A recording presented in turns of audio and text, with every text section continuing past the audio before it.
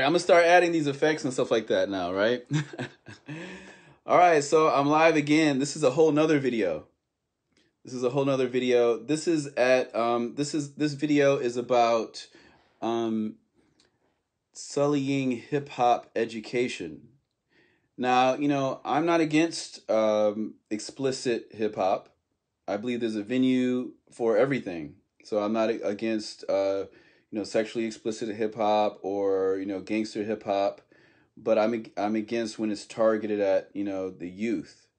And it's come to my attention within the past week or two weeks, maybe I've recently found out about it. It's come to my attention that Dirty Digits, um, uh, the head teacher at Scratch DJ Academy, Dirty Digits, has a tutorial online called the Tug Job Scratch. And I have a problem with that because if you're teaching children um, at Scratch DJ Academy and then you're using an adult content thing like that called and naming a scratch tug job scratch you know to me that's uh that's totally that's totally foul so this is a message this is a lecture about dirty digits using um, the word tug job to describe a scratch you know now if you're scratching and you have your own album and it's like you know D-Styles kind of thing where you're scratching real you know dark stuff and you're talking about dark concepts that's one thing. I'm not against that.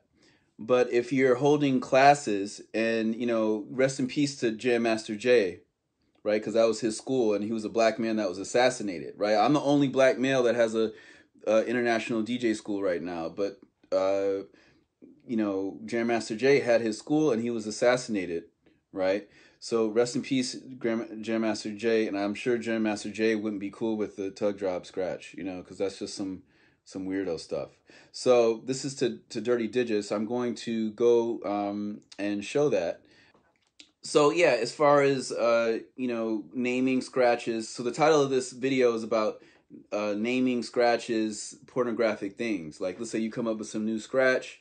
Yeah, if you're with your homies and you're drinking beer, um, you know, just you know that's one thing to name a scratch. You know, some crazy name um, even though given that you're posting stuff online and kids might see it, that's one thing. But I'm coming at Dirty Digits for being at a school and naming naming the scratch, the tug job scratch at his school. So let's uh, I'm gonna we're gonna flip around, all right, and we're gonna look at it. All right, so let's let's flip around. All right, so I'm gonna type Dirty Digits. So I'm gonna type Dirty Digits. All right, and I'm gonna type. Let's see dirty digits. All right, and I'm going to type uh, scratch.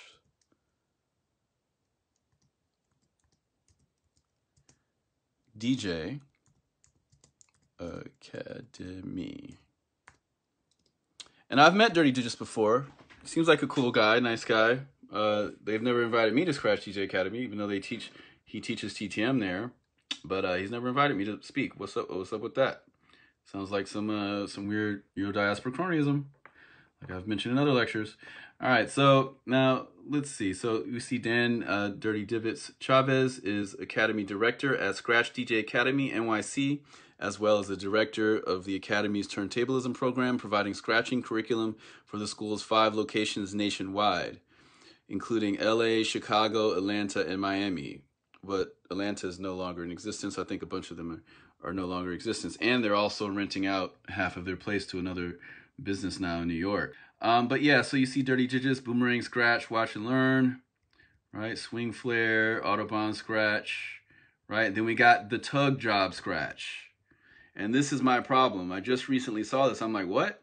You're telling me that this guy is the director of a, of a school that teaches children and he is um, coming out with a scratch called the Tug Job Scratch um, through through the same facility. It'd be different if it was like his own personal page and you know he's got a group and his you know Dirty Digits featuring featuring Necro or something.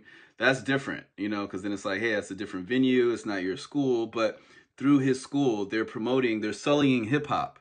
You know, they're selling hip hop by naming stuff stuff like this. Like, why would you name, you know, a scratch the tug drop scratch. So I'm going to actually click on this and see what he has to say. All right, so let's see. Infected with hip hop.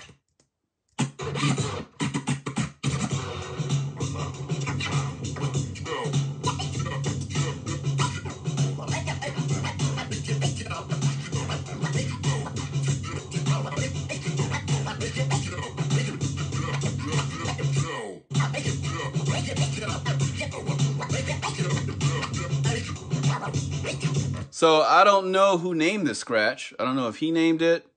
I don't know who uh, named the scratch. All right, but let me see. All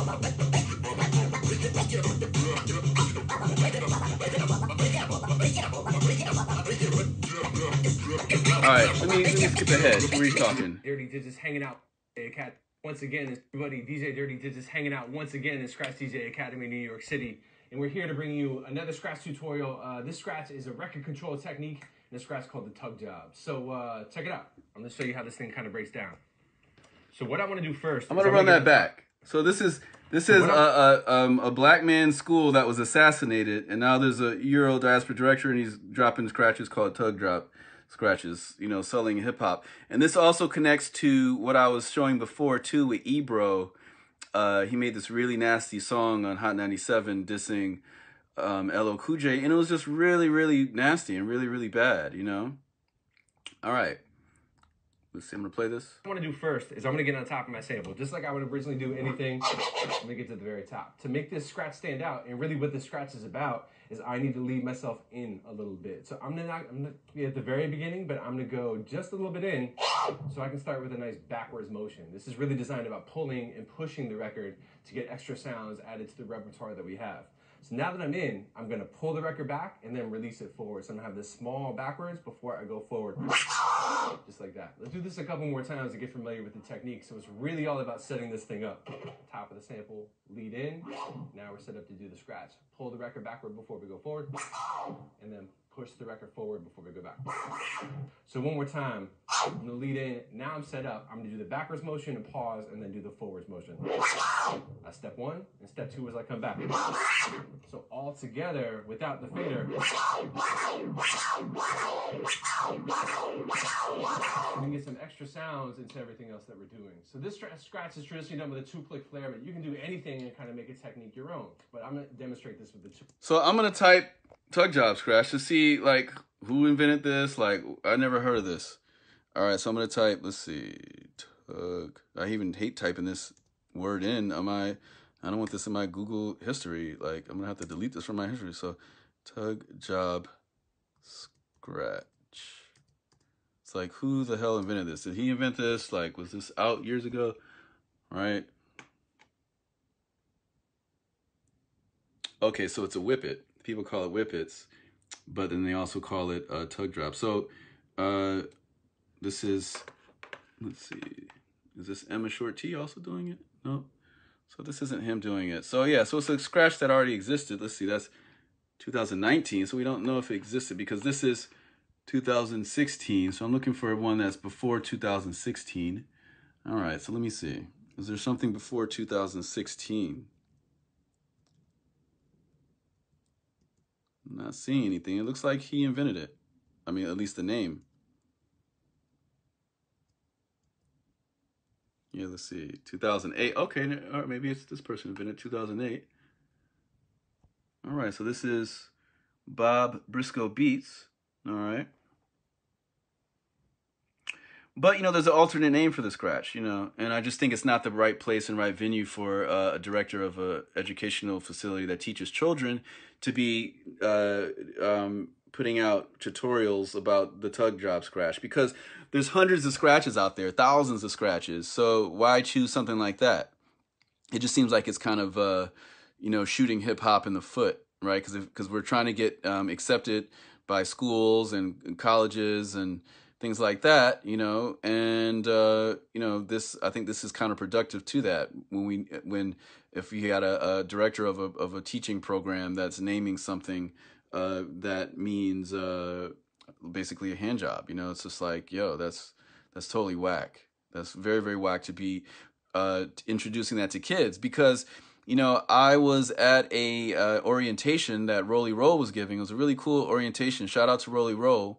It was a Scratch Academy orientation, and they were you know they had like prospective uh, students there. Like it was more of like a, a demo promo thing for kids that were interested in maybe uh, it was like a meet and greet where kids that would maybe maybe be into you know uh, signing up you know and there was kids of all ages you know there was actual you know 10 year olds there to you know people that were 40 that wanted to learn you know so it's like it, even if it's a one room schoolhouse scenario you still have to bring things to the lowest common denominator as far as morality and if you're dealing with kids you you can't be naming you can't be doing uh, tutorials you know with uh, scratch academy's name you know, with you know things that are bad for kids. You know, that's sullying it unless you want Scratch Academy to be to be just for adults. All right, so that's all I had to say in that. That uh, you know, to me, that's uh, that's nasty to to have a, a scratch with that name uh, being um, targeted at children. All right, peace. I'm out.